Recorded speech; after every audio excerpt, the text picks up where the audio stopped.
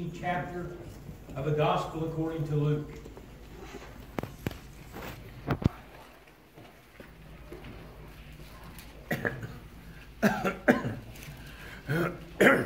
Beginning there in verse 1, the Bible says, Then drew near unto him all the publicans and sinners for to hear him. And the Pharisees and the scribes murmured, saying, This man receiveth sinners, and eateth with them. Let's pray. Dear Heavenly Father, we thank you for this a beautiful day that you've given to us, a time that, Father, we can come together. Those that love you, those that have given their life to you, Father, that we might worship in spirit and in truth. Father, I pray that in this hour, that as we preach and sing the songs and pray, Father, that we might meet the needs of those here today, that we might minister to them, that we might preach a word that the Spirit would use to touch their heart, to answer questions, and Father, draw them closer to Jesus Christ. Father, as we come together, may we lift up Jesus, that men and women and boys and girls will be drawn unto him. Father, we pray these things in Jesus' name. Amen. Amen. This chapter begins telling us about the publicans and the sinners who were drawing near unto Jesus to hear him, the Bible says. I want you to understand something this morning that Jesus could always draw a crowd. Jesus offered hope. Jesus offered healing. Jesus offered forgiveness. My friends, it's no different today because Jesus continues to offer healing and hope and forgiveness.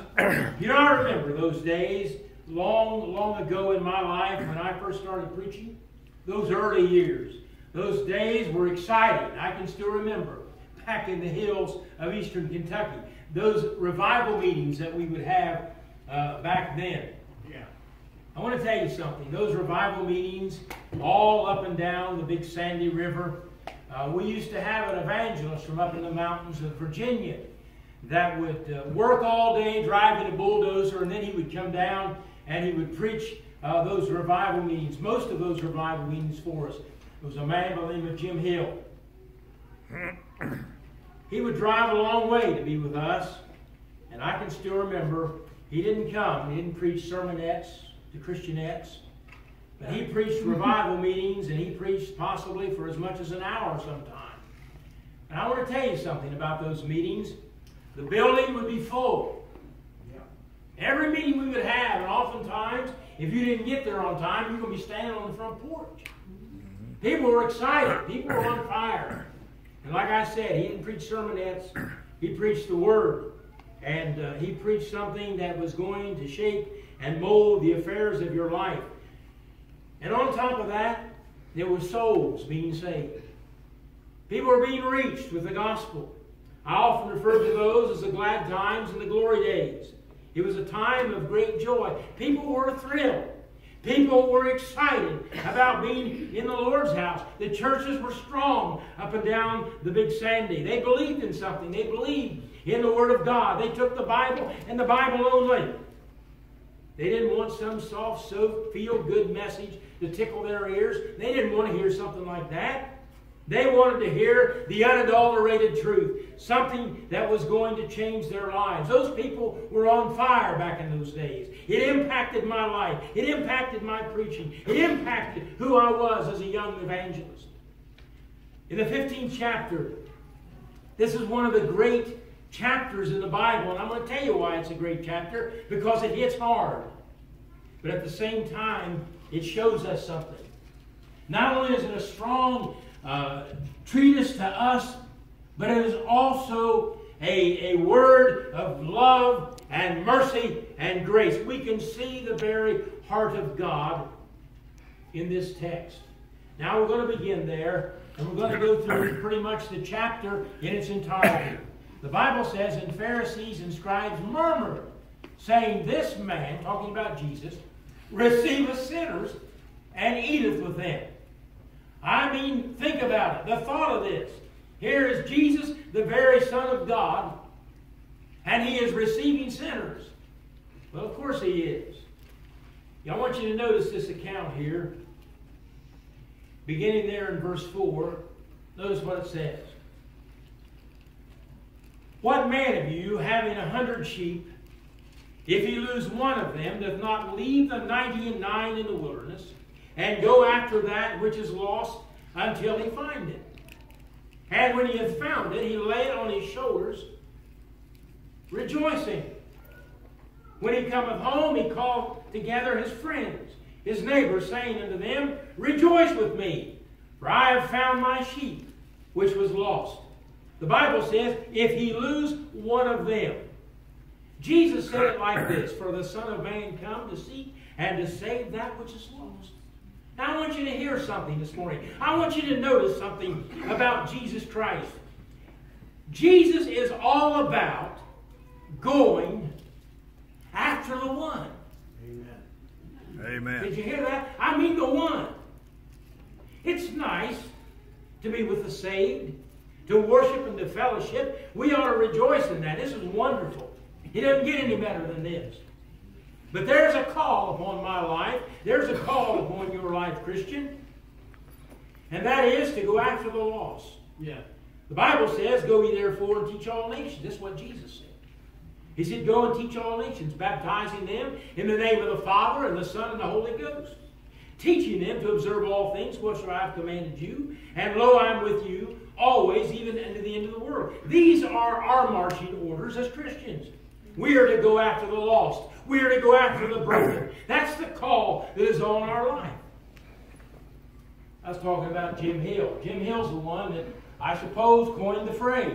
He came to Marshall and he preached for us a couple of messages or a couple of revival meetings many, many years ago when I first came back up here. But I can still hear him. And I can still hear him say this. He said, I'll tell you what they're doing in these churches today. He said they're using goodies, gimmicks, gumdrops, and gadgets to try to draw people. He said it is the Word of God. It is the gospel that draws men unto Him. We're supposed to preach the gospel.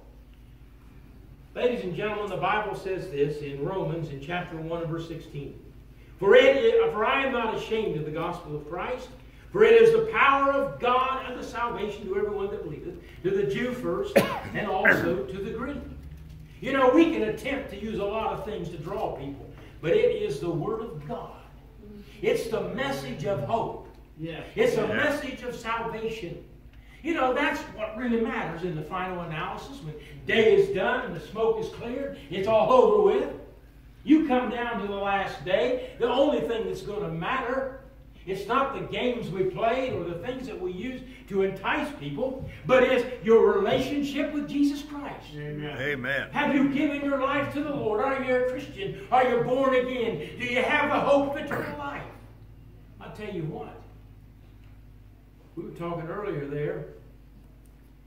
It was said to me, talking about holding his hand or him holding your hand. That's what matters. Mm-hmm. You're going to go through a lot of stuff in this world. But is God holding your hand? Are you holding his hand? Because God's going to see you through. God's going to take care of you. Yeah. This other stuff isn't going to help you one bit. But I'll tell you what, the power of the gospel, your relationship with God, is what's going to make the difference. Jesus said he wasn't satisfied with 99%. Did you notice that? he wasn't satisfied with 99%. God, he doesn't want anybody to be outside of Christ. He didn't want anybody to be lost. The Bible says in 2 Peter 3 9, the Lord is not slack concerning his promises, as some men count slackness, but is long suffering to usward, not willing that any should perish, but that all should come to repentance. Years ago, I remember preaching down there in that little church in that coal mining junction. And one Sunday morning, a boy, he walked into the building that Sunday, that Lord's Day morning. And uh, he had stringy hair. His clothes were tattered and worn. I suppose in some people's mind, he looked pretty rough. Well, maybe he did. But what bothered me was there were those that were sitting there, and I could see them kind of talking amongst themselves, kind of murmuring. And what I come to find out that Many of those people were more concerned about getting that stranger, that young boy, to to the barber than they were to the Lord Jesus Christ. Amen. Now, there's something wrong with that. Hey, yes, they are. Because that's not how Jesus worked. That's not the lesson that he's teaching here in the 15th chapter of Luke this morning. But I'm going to tell you what happened. That morning we preached the gospel just like we always preach the gospel. And that boy became a Christian. That boy obeyed the gospel. We baptized that boy into Christ that morning. But that's not the end of the story. That Sunday evening he came back. He marched into that church building. And he brought with him his five sisters and a friend. Amen. We preached the gospel again. And that night, we baptized his five sisters and his friend into Christ. Now, ladies and gentlemen, that's what it's about. Yeah. That's what we are here for. We're not here to judge people upon their appearance or who they are or where they've been or who they were. We are here to share the gospel of the Lord Jesus Christ with them, that God would take that life and redeem that life and change that life. Amen. The Bible says, and go after that which is lost until he find it. He searched until he found the lost lamb. He looked behind every thicket, bush, every mountain until he found it. I don't know where you've been hiding, but God is going to search until he finds you Yeah. Yeah. because he loves you. And Jesus mm-hmm. Christ died upon the cross for you. The Bible says, and when he had found it, he laid on his shoulders, rejoicing. Boy, here's a word. He's going to carry you. Did you hear me? You may be broken. You may be hurting. You may be lost. But when he finds you and you obey the gospel, he's going to pick you up and he's going to carry you. Mm-hmm. Friends, you can't make it without him. You can't make it home without him. He knows the way, and he's the strength and the very one that's going to pick you up, and he's going to carry you home to glory one day. We need Jesus. Our sins are greater than we are. Our issues, our problems, our brokenness is greater than we are, and we need him. Because he's the only one that can take you home. The second thing is, you're going to notice here, I'm going to read verse 8 to you. The Bible says, Either what woman having ten pieces of silver, if she lose one piece, does not light a candle, sweep the house, seek diligent till she finds it. Now we're going to talk about the lost coin. Now, first of all, we're going to learn something here. A coin is an inanimate object. Now, I mean, even I can figure this one out. That coin didn't know it was lost. Yeah. Oh, that's right. You're right. But you know what? A lot of people don't know they're lost. There's a lot of people that today do not realize they're lost. They do not realize the direction they're headed. They do not realize that there is a hell out there. And unless they give their life to Christ, that's where they're going to end up. They don't know it. Now, have you ever noticed that nobody goes to hell anymore? Yeah. Now, I picked up on this several years ago. Uh, at least that appears to be the consensus. Now, why do I say that? Because, you know, when someone dies, everybody believes that that loved one has gone to heaven, no matter who they are. Yeah. They may have had total disregard for God. They couldn't have cared less about their soul's salvation. But when they die, they all go to heaven. I've got news for you. Hell is not. It's still open for business. And people are dying without Jesus Christ every day. And they're lost. Jesus said, I'm the way, the truth, and the life. No man cometh to the Father but by me. And that has not changed. I heard this old story. I've told this over the years a couple of times. Uh, stories about oh Andrew Jackson. You remember Andrew Jackson. Remember your history. Well, according to the story, I don't know if it's true or not. I suppose it is. It's told to be true. But he stopped by an old country church one night, and he walked in with his entourage. And they went in and sat down. And someone called the preacher and said, "Hey, you know who that is?" He said, "That's that's Andrew Jackson." You make sure you make a big deal out of that, and you recognize him. Well, this old country preacher, he got up there and he did just that. He said, I've been told that we have been blessed with the presence of Andrew Jackson tonight. But I must remind old Hickory, if he doesn't repent, he's still going to hell. There you go. Amen. It doesn't matter who we are, we all need Jesus. The Bible says in Matthew 7 14, Wide is the way that leads to destruction, and many there uh, go that, that way. Narrow is the way to life, and few find it. The point is, there's a lot of people that are lost and do not even know it. The second thing is this. Although there are a lot of people that are lost and they don't know it, they also don't realize the value of their eternal soul. Right. That coin was of great value, and someone was aware of it. You know, ladies and gentlemen, oftentimes I, I talk to people and they feel like they, they, they don't have a value. Hmm. I've heard people say, well, I I don't even deserve to live. That's someone tell me the other day, there are people out here that are sick and dying, and here I am alive, and I don't even deserve to be alive. It just doesn't seem fair. Now that's a, a pretty low opinion of oneself. And there's a lot of people today that have absolutely no value, no self-worth. Well, here's my point, and that is this, that to God you have a worth, you have a value, you're important to God. I don't care who you are. I don't care what you've done. To God, you are important. Now listen, how do I know this? I'll tell you how I know this because the, the cross of the Lord Jesus Christ argues your worth. It shows you just how much God was willing to invest in you. Now you think about that this morning. Jesus Christ went to the cross for who? For you. If you were the only person on the footstool of God, Jesus Christ would have still gone to the cross and died for you. This woman searched until she found her coin. You know, more often than not, things are lost because of carelessness. You ever lose anything because you were careless, you misplaced it? You won't even think, I'm, well, I tell you, I'm the world's worst. Chris will tell you that. I'm always losing something, right? Boy, I'm not gonna lose her though, I'll tell you that. I keep an eye on that. No, sir. The Bible says in Hebrews 2 3, How shall we escape if we neglect so great a salvation? Which at the first began to be spoken by the Lord, and was confirmed unto us by them that heard him. People are careless. They're careless with their life. They're careless with their relationship with God. It was a beautiful sunshiny day, and the families were enjoying a day on the island along the beach. The island was connected to the main line by a bridge, one single bridge, an iron causeway, and it was the only way off the bridge or off the island. Before long,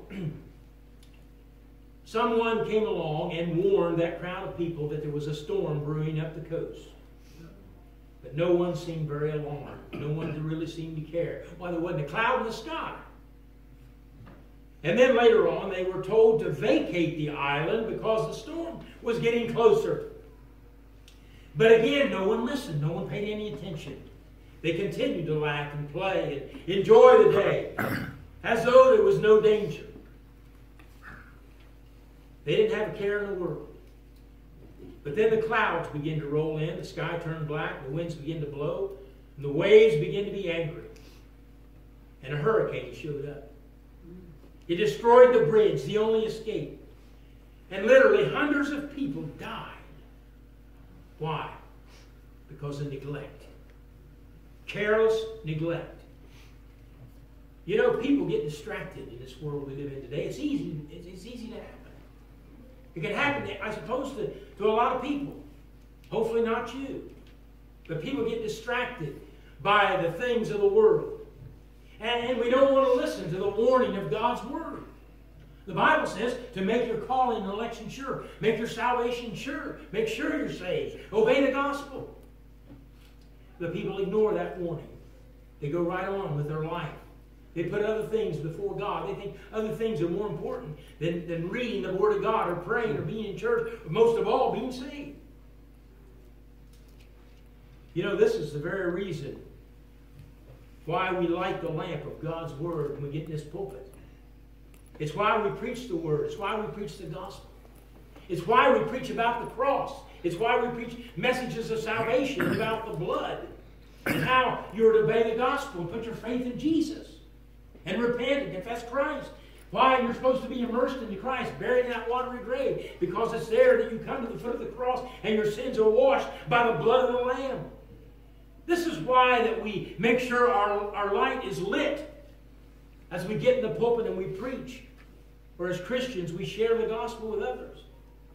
This is why we, we get out our spiritual broom and we sweep away the false doctrine, the false teaching. This is why we want to sweep away any kind of seeker friendly, anything goes type of a message. We don't want any part of that because it's not true. We want to preach the truth.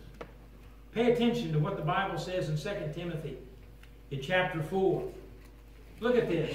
Paul told the young evangelist, the preacher, I charge you therefore before God and the Lord Jesus Christ, who shall judge the quick and the dead, and is appearing in his kingdom. He said, Preach what? The word.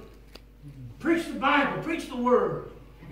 Be instant in season, out of season, reprove, rebuke, exhort with all long suffering and doctrine. Now get this. He said, For the time will come when they will not endure sound doctrine. In other words, sound biblical preaching. But after their own lusts shall they heap to themselves teachers, having itching ears, and they shall turn away their ears from the truth, and shall be turned unto fables. Yeah. It's a sad day when we turn away from the Word of God. We begin to buy into this other stuff, and it's just stuff. If it's not Scripture, it doesn't amount to a proverbial hill of beans.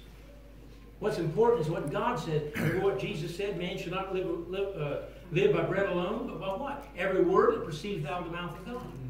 If you want to live a life, then you need to obey what the Bible says. We need to, to listen to what the Word of God says. We need to apply it to our life. And then finally, the third thing is this. In verse 13, it says, And not many days after the younger son gathered all together, took his journey into a far country, and there wasted his substance with riotous living. Now, we're going to talk about the lost boy.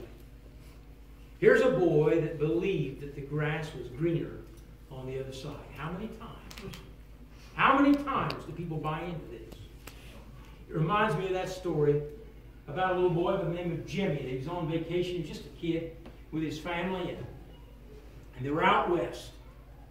And as they're going through the desert out west, all of a sudden little Jimmy jumps up and said, Look, there's a lake up ahead. His mom said, She says, Jimmy, that's not a lake, that's a mirage. He said, A mirage? What's a mirage? And, and, and his mother, being much older and wiser, she, she defined it by saying, Son, a mirage is something that appears to be something, but it's not.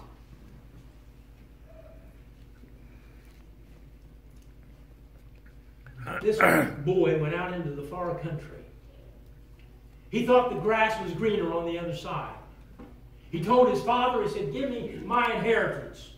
And the Bible says he went out and he, he wasted it on riotous living. Right. Now, you know, it doesn't take a lot to explain that, does it? There's a lot of people that wasted their life on riotous living, sensual living, uh, going out here and doing things they shouldn't do, things that are going to destroy their life. And they squander their life. I mean, it's, it's, it's every turn we find someone that is doing that. They're journeying out into the far country of sin. And sin is destroying their life because they have no regard for God. And so they wander away from that which is good, that which is right. It's a mirage. It's something that appears to be something, but it's not. It's a great lie. It's a great cheat. Again, it's a mirage. And the Bible says, And when he had spent all, there arose a mighty famine in the land. He began to be in want and went and joined himself to a citizen of that country. He sent him into the fields to feed the swine and would have fan have filled his belly with the husk that the swine did eat, and no man gave unto him. Do you see what happened? He lost everything he had. He'd lost his inheritance, and now he was starving. He was hungry. How hungry? He was going to eat pig slop. That's a pretty good picture, isn't it? Of what happens in people's lives when they allow sin to dominate their life. But you know that's not the that's not the end of the story. Even though that story has been played out countless number of times over and over again, the story of a wasted life, a journey into the far country of sin. That's not the end of the story. It's a story of drug addiction. It's a story of alcoholism. It's a story of adulterous affairs, of embezzlement, of lies and cheats. It's a story of a wasted life. You know, even a moral life. Did you hear me? I said even a moral life. A lot of people live good moral lives, but they do not have a relationship with Jesus Christ. They think that morality, that goodness, uh, being a good neighbor, being a good citizen, having good morals is going to save their soul, but that's not true. They've wandered out into that far country. Ladies and gentlemen, without Christ, we're lost. It's that long journey down the dead end road that leads us to hell. Again, that's not the end of the story. The Bible says that he came unto himself. What did he do? He confessed his sin. He said, I've sinned against my Father. I've sinned against heaven. I'm going to go back home. I'm no longer worthy to be called uh, my, my, my father's son. I, I, I'm just going to go back and tell him I'll be a hired servant. Just hire me on. Give me a job. I'm not worthy because I've sinned. Did you hear that? I'm not worthy. I got news for you. When it comes to, to, to our relationship with God, none of us are worthy. Amen. We've all Amen. sinned. I don't care who you are. How good you think you are. We've all sinned. Again, the ground's level at the cross. We've all made mistakes. We've all fallen short of God's glory. We're not worthy. But now you're going to see the grace and the mercy of God because that Father, I can just see him, can't you? I bet you every day he was scanning the horizon, just waiting for that boy to come over the last hill of the way, just waiting on him to come home. And the day would come. Here comes that boy. And when he sees him, the Bible says he runs to him. Mm-hmm. He doesn't walk. Can you imagine how excited you would be? If your son had wandered away out into the far country of sin, or your daughter had wandered out into that life, and you see him coming home, you're going to be thrilled to death. Well, that's the heart of God. But then there's the grace and the mercy of God and the love of God. Because when he come back and the boy started his speech, oh, I'm not worthy. I'm telling you what, he threw his arms around that boy. He hugged that boy. He kissed that boy's face. He threw a robe on that boy. He said, my son was lost, but now he's home. That's the heart of God. That's the hope that we have in Jesus Christ. Ladies and gentlemen, there isn't anything in the world to compare with the mercy and the love and the grace of God. And that's the story of the lost boy. It's a lot of people like that lost boy. All they need to do is recognize the fact that they're lost. And they need to come home to God. Come home to God by putting their faith and tr- trust in Jesus Christ. Repenting of their sins, confessing Jesus, and being baptized, immersed in that watery grave. Why? So your sins will be washed away by the blood of Jesus, that shed blood from the cross of Calvary. And you'll receive the indwelling gift of the Holy Spirit. Don't you want to be born again? Don't you want to give your life to Jesus Christ? And start that new journey. A journey of hope. A journey of eternal life. A journey knowing that God has you. He has your hand in His hand. And no matter what you go through, He's going to carry you. I'm going to close with this.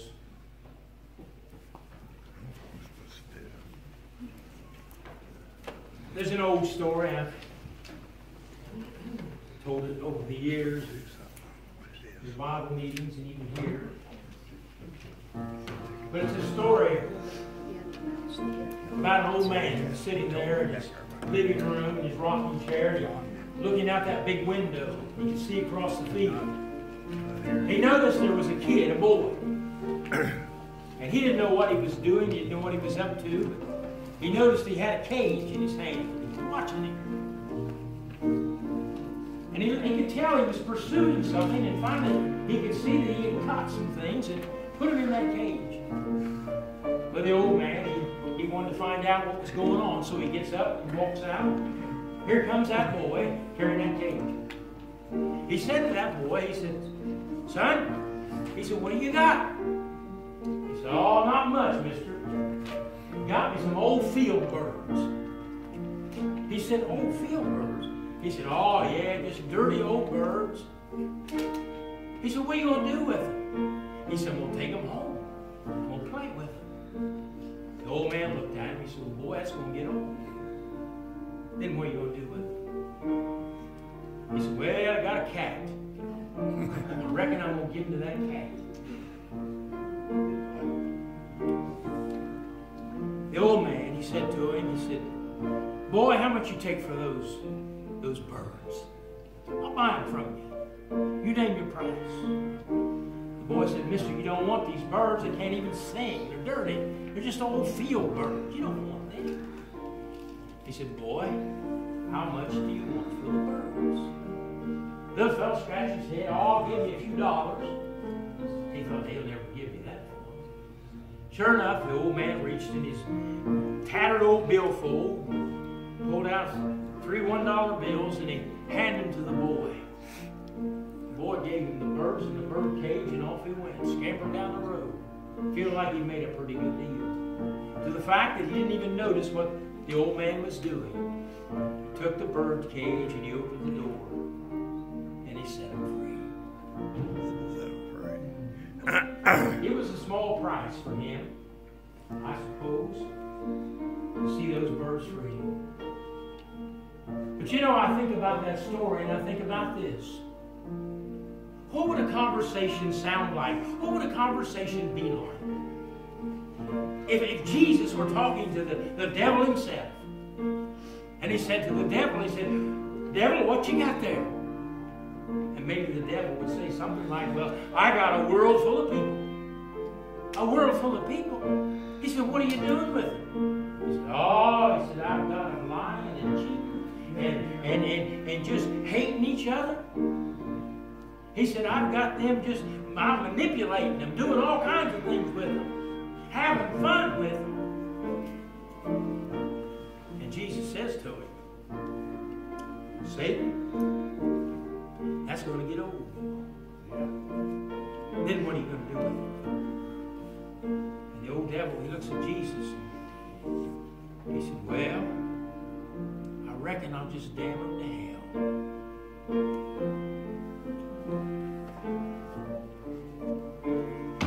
Jesus, I can just hear him saying it. Satan, what do you want for? And the old devil said, You don't want these people, Jesus. They're going to hate you. They're going to despise you. They're going to falsely accuse you. They're going to try to destroy you. You don't want these people. They're going to try to crucify you. You don't want them, Jesus. And Jesus said, How much, Satan? How much do you want from these people? And Satan said, I want all your tears, all your sweat, and all your blood. The Bible says, But God committeth